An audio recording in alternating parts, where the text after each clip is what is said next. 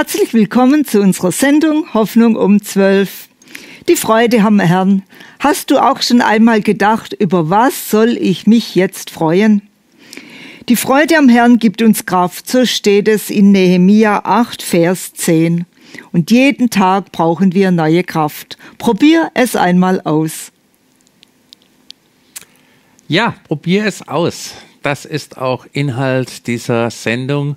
Nicht nur zuhören, sondern auch wirklich nachmachen. Hoffnung um 12. Wir wollen dich ermutigen. Liebe vertreibt die Angst. Lass uns dein Gebetsanliegen wissen, wenn du Sorgen oder Nöte hast. Wir beten gerne für dich.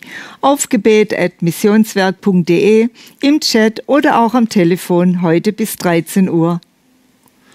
Liebe vertreibt die Angst. Und da lesen wir in 1. Johannes 4, Vers 18.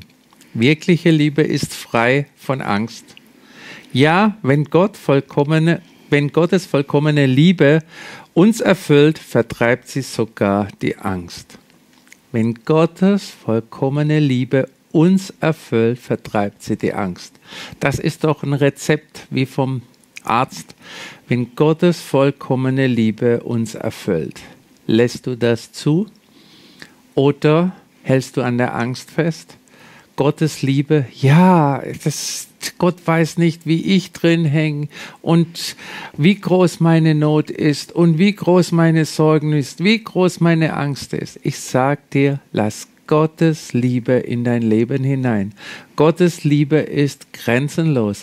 Gottes Liebe ist auch bedingungslos ja, wir haben zu unserem Nächsten, wir müssen manchmal schauen, dass wir geliebt werden. Und ja, wir werden geliebt, wenn man ein Geschenk bringt oder irgendwas Tolles tut und ach, danke, du bist ja so lieb, dass du mir und so weiter. Gott liebt dich in jeder Lage, in jeder Bedingung, auch wenn du richtig Mist gebaut hast. Gott liebt dich und lass diese Liebe in dich hinein. Und wie es in diesem Vers heißt, es, diese Liebe vertreibt alle Angst. Er ging für dich ans Kreuz, weil er dich liebt. Er, er liebt dich bedingungslos. Wenn er all unseren Mist äh, praktisch auswerten würde, hätte er es nie getan, aber er liebt dich bedingungslos. Und lass diese bedingungslose Liebe Gottes in dich hinein und die vertreibt alle Angst. Danke, Herr. Herr, so viele Menschen haben Angst in diesen Tagen. Ich danke dir dafür, dass deine Liebe, Herr, überall, wo sie, wo die Menschen sie zulassen, dass sie in, in sie hineinkommen. Ich danke dir dafür, dass diese Liebe alle Angst vertreibt. Amen. Amen. Ein Mann schreibt uns von einem Unfall und bittet um Gebet. Ich hatte vor drei Jahren einen Unfall. Meine Lendenwirbel sind stark geschädigt. Leider haben es die Ärzte bis heute nicht wieder heilen können. Ich kann kaum noch laufen. Auch meine Beine sind irgendwie geschädigt. Ich bin 75 Jahre alt und hatte vor, noch so viel in meinem Leben zu tun. Aber wenn das nicht anders wird, dann kann ich nur noch in ein Pflegeheim gehen. Davor habe ich Angst. Ja, Jesus, Du bist der Herr, der Lösungen hat. Und ich danke dir, dass du diesem Mann begegnest. Danke, dass du ihm seine Angst nimmst und dass er wirklich sein Vertrauen auf dich setzt. Und ich danke dir, Jesus, dass du eingreifst und dass du ihn vollkommen wiederherstellst an ganzen Leib. Und du weißt, wo, wo da die Ursache genau ist, der Lendenwirbel und auch die Beine, alles, was damit zusammenhängt. Und ich danke dir, dass du da Wunderbares tust, dass das wieder hergestellt wird in deine göttliche Schöpfungsordnung und dass alles, alle Zellen wieder in die richtige Funktion kommen. Danke, Jesus. Amen. Amen. Und eine Frau hat zwei Anliegen. Bitte beten Sie für meinen Nachbarn im Haus für Heilung.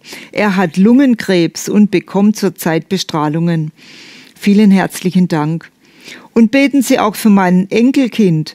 Er ist vier Monate alt und hat eine ziemliche Erkältung und bekommt schlecht Luft durch die Nase. Vielen lieben Dank. Jesus, du weißt um diese Gebetsanliegen, um den Nachbarn, der Lungenkrebs hat. Und ich danke dir, dass du auch diesen Krebs besiegt hast am Kreuz von Golgatha. Und ich danke dir, dass du ihn berührst. Danke, dass dieser Krebs kein Anrecht mehr hat und dass dieser Krebs verschwindet im Namen Jesus. Danke, dass er wiederhergestellt ist, so wie du ihn geschaffen hast.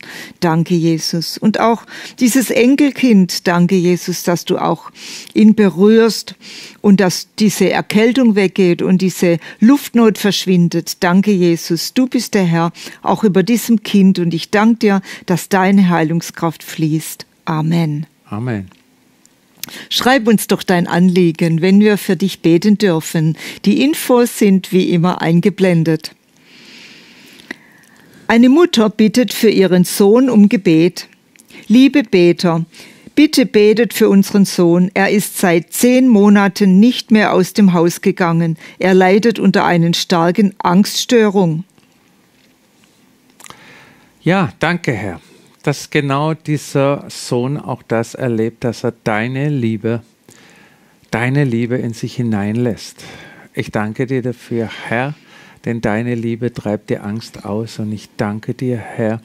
Herr, lass es auch diesen Menschen begreifen und ich danke dir dafür, dass er wieder in einen normalen Rhythmus hineinkommt, in einen normalen Alltagsrhythmus im positiven Sinne hineinkommt und wieder das Leben genießen kann. Ich danke dir.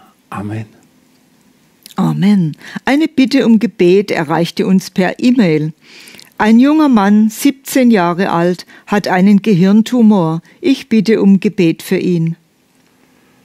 Danke, Herr, dass wir auch für diesen jungen Mann kommen dürfen. Herr, Danke, Herr. Herr, gerade junge Menschen, die solche Krankheiten haben, Herr, liegen uns im Herzen, Herr. Danke, Herr. Herr, wo das ganze Leben noch vor diesen Menschen liegt. Ich danke dir dafür auch, dass diesem jungen Mann begegnest, dass dieser Krebs vertrocknen muss, weichen muss in Jesu Namen. Vater, wir bitten in Jesu Namen, dass dieser Krebs verschwindet und wir schimpfen diesen Krebs, dass er verschwindet in Jesu Namen. Amen. Amen. Gottes Liebe und Gottes Hilfe ist so grenzenlos. Das bezeugen immer wieder Menschen. Und Gott erhört Gebet, wenn es auch manchmal länger dauert. Und so schreibt uns jemand, absoluter Dank Ihr habt so oft in den letzten Jahren für mich gebetet, für körperliche und seelische Heilung. Jetzt ist es Realität geworden. Ich bin gesund und Gott ist der Herr meines Lebens. Ich lebe und darf wieder ein Segen für andere sein. Halleluja. Preis dem Herrn. Was für eine Freude. Und eine Frau hat wunderbar die Versorgung Gottes erlebt. Ich bedanke mich sehr bei euch und eurem Gebetsteam für die Gebete. Jesus hat mir eine Dreizimmerwohnung südlich von Berlin ab Oktober 2021 gegeben für einen Mietpreis, über den ich nur staunen kann. Ja, das ist wirklich ein Wunder, in dieser Gegend eine so super Wohnung zu finden und von mehreren Gebetserhörungen berichtet uns diese Frau aus Frankreich. Sie schreibt, Danke für eure Gebete. Gott hat geantwortet. Ich kann gleich von mehreren Gebetserhörungen berichten. Mich hat Gott von Schwindel, extremem Bluthochdruck, Cholesterin und massiven Blasenbeschwerden geheilt. Vor zwei Tagen wurde bei mir ein großes Basaliom im Gesicht entfernt. Ich hatte um Gebetsunterstützung gebeten. Alles verlief bestens. Ich gebe Jesus die Ehre. Auch in unserer Ehe ist es friedlicher geworden. Mein Mann und ich sind uns auch im geistlichen Bereich näher gekommen. Ihr habt auch für eine junge Frau gebetet, die massive Augenbeschwerden hatte. Es geht ihr viel, viel besser. Ihre Schwester ist jetzt nach mehreren Fehlgeburten im sechsten Monat schwanger. Mein Mann wurde im vergangenen Jahr am offenen Herzen operiert. Er ist voll wiederhergestellt. Dem Herrn gebührt alle Ehre und euch vielen Dank für eure treue Gebetsunterstützung. Was für eine wunderbare Gebetserhörung und Veränderung.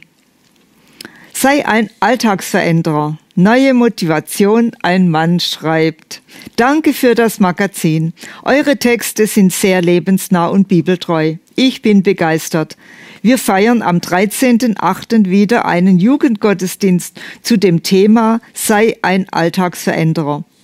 Ein junges Mädchen wird darüber berichten, wie sie Motivation für ihren Alltag bekommen hat, nachdem sie den Bibelleseplan Sei ein Alltagsveränderer gelesen hat. Vielen Dank und macht weiter. Gott segne euch. Ja, diese Bibellesepläne sind wirklich ein großer Segen. Und wenn du möchtest, kannst du auch dich da einklinken auf YouVersion. Da sind unsere Bibellesepläne, die du dir holen kannst. Ja, es ist so wunderbar, wenn Menschen so Wunderbares erleben. Und sei ein Alltagsveränderer. Sei auch du einer, indem du Menschen wirklich die Liebe Gottes weitergibst. Und wenn du so etwas erlebt hast, wie du gehört hast, oder was ganz anderes, lass es uns einfach wissen. Wir lesen es hier gerne, gerne vor. Ja, die Liebe Gottes wenn sie uns erfüllt, treibt sie die Angst aus. Und daher bitte ich dich, sei mal konzentriert und überlege, wo du Angst hast. Lass dort Gottes Liebe hinein.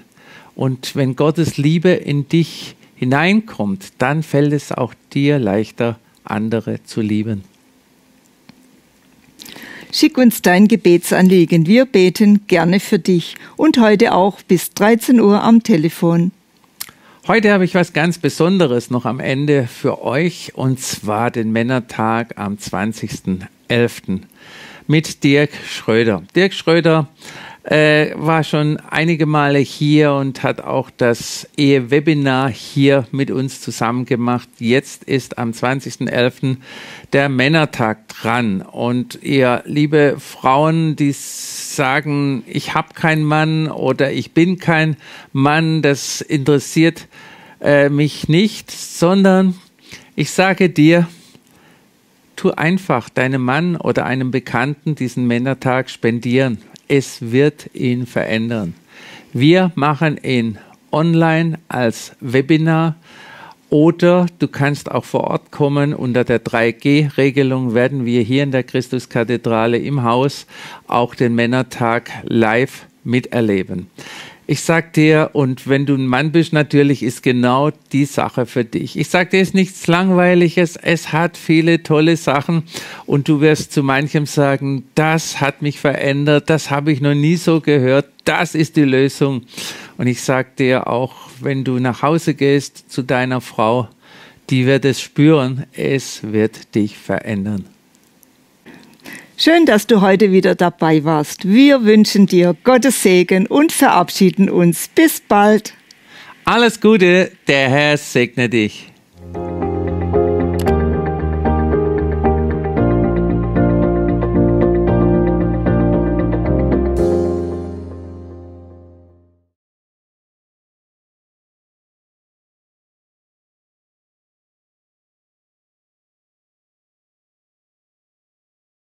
Wusstest du, dass du mit deinen Sorgen und Problemen nicht allein bist?